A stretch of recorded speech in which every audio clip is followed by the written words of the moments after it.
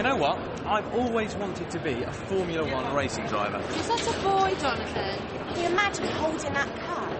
But where are we going to find a Formula One racing track? Jonathan!